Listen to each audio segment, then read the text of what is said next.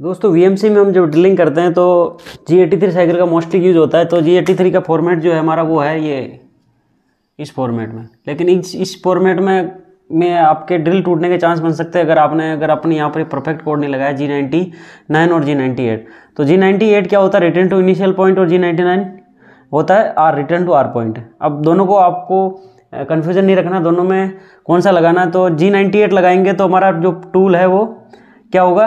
हमारी साइकिल लगाने से पहले जी साइकिल से पहले जो जेड की वैल्यू होगी, पचास एम ये, वहाँ तक ऊपर उठेगा और फिर नेक्स्ट होल पे कोई ड्रिल करने के लिए जाएगा। और अगर आप जी नाइन्टी नाइन लगा दोगे तो क्या होगा वो?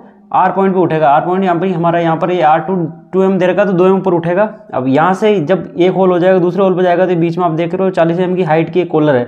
तो यहाँ टूल टकरा जाएगा जी नाइन्टी नाइन लगाओगे। और जी नाइन्टी एट लगाओगे तो टूल हमारा पचास एम ऊपर उठेगा तो सेफ़ रहेगा। ठीक है दोस्तों?